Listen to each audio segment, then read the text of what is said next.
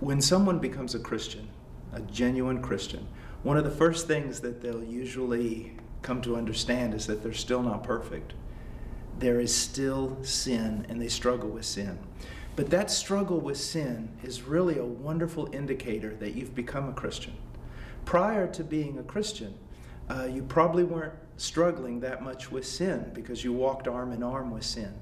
But then when you become a Christian, you realize that you have a changed relationship, and now there's something of a warfare going on both inside and outside of you.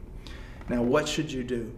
Well, the answer that I would give is, is not going to be really the answer everyone wants to hear. They just want to hear a quick fix solution. But the answer is this you must grow in Christ, you must grow in grace. And how do you do that?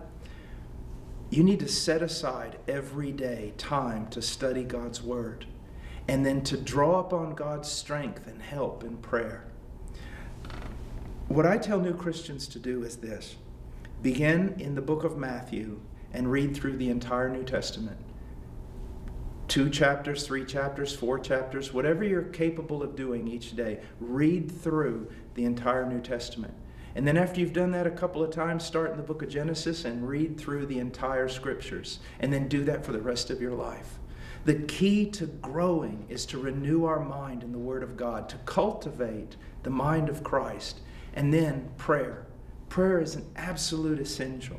God says in the book of James, You have not because you ask not. You need help, you ask Him. You need power to overcome sin, then you draw near to God in prayer and call upon Him in the name of Christ, and He will help you. But never forget, it'll always be a struggle until we step over into glory.